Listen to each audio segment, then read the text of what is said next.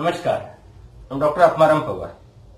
So today we'll see the another topic from the OTC that is expectorants.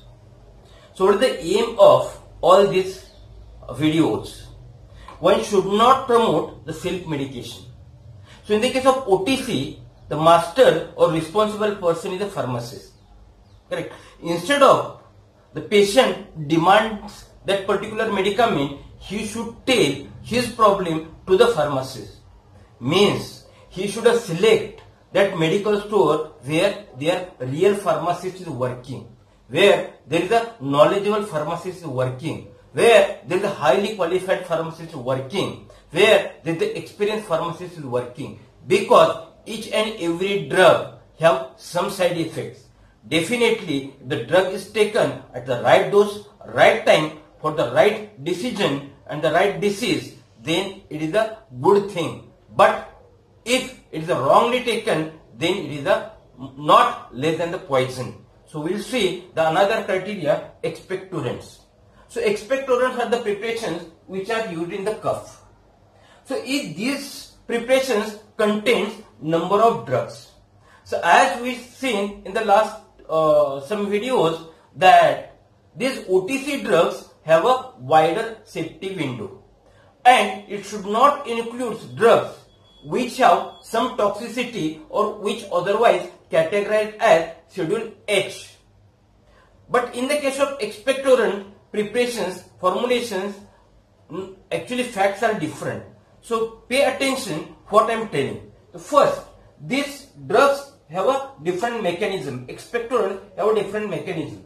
Expel the mucus means what is the mucus is there, they liquefy and they expel, they remove. Such drugs are there. So thinning of cup takes place and it includes drug like ammonium chloride, some volatile oils are there or potassium iodide, menthol like substances are used as a expectorant for expulsion of that cough or the mucus. Liquefy the sputum or mucolytic. So degrade the bonds between that mucus and they thin the mucus and they expel that mucus or cough. These are the bromhexine or the guaifenesin like drugs are there. Then the demulcent means they give the soothing effect on the throat.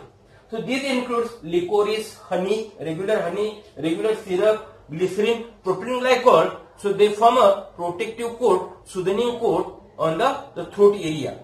So all these drugs are comparatively safe. So they are really OTC drugs. But this expectorant contain some other drug types such as decongestants which are xylitol that drops are there for decongestion. When our nose get blocked then we take such a drops. Anti-allergic that is chlorpheniramine maleate then the pheniramine maleate, cetirizine like anti-allergic drugs are there. Then the B2 receptor agonist like a salbutamol is there. Some drugs directly act on our brain or CNS system, central nervous system. There is the codeine, noscapine, dextromethorphan. So all these red color drugs are uh, actually H category drugs.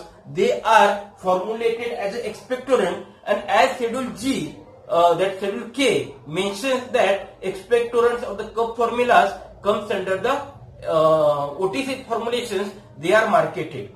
Means what expectorants or cough preparations we are taking this contains the safe drugs as well as some non-safe drugs and one by one we'll see that.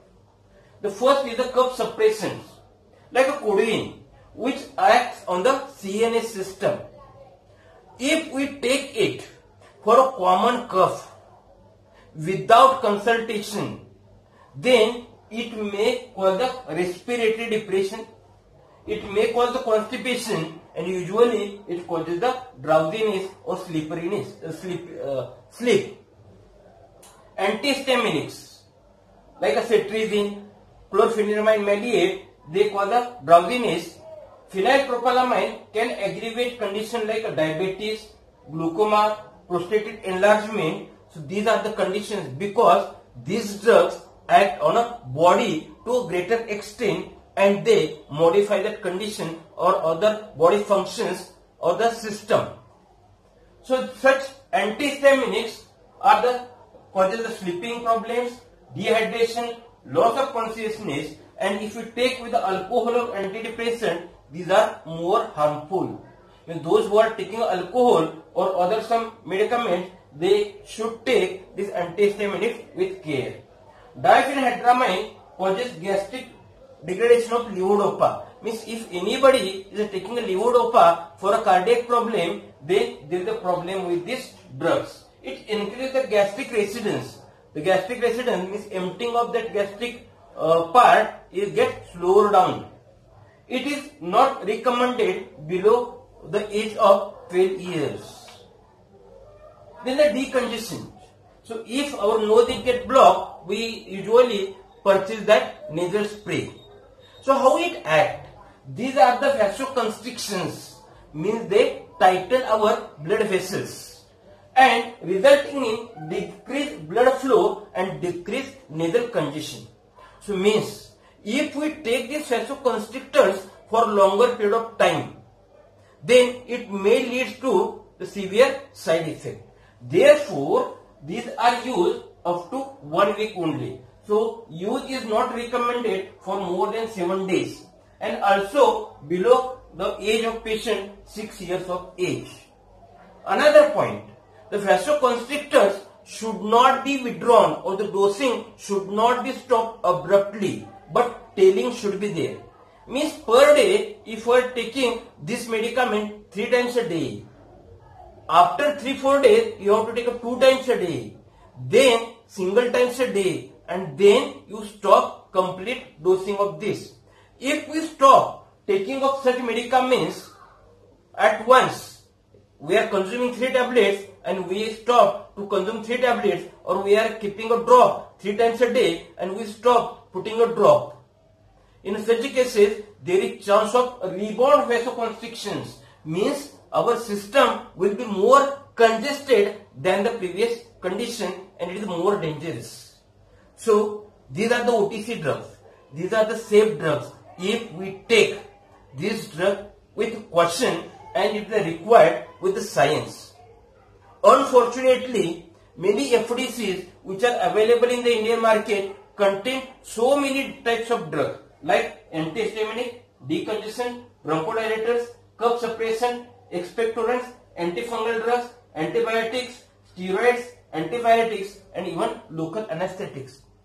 So for common cough, is it necessary to use such combinations? So simple steam and gargling is more effective. Waiting for one or two days is more effective than taking such complicated OTC medicaments.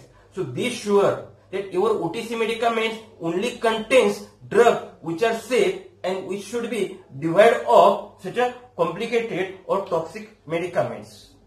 So this is my another chapter expectorant on the OTC. Thank you for listening. So next time we will see the another chapter either from OTC or how the self medication is more dangerous. Thank you.